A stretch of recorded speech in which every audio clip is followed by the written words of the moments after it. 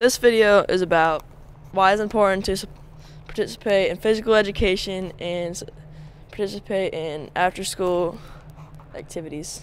For example, For example, baseball.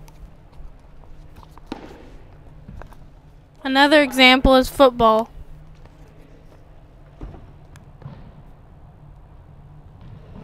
And for our last final example, basketball.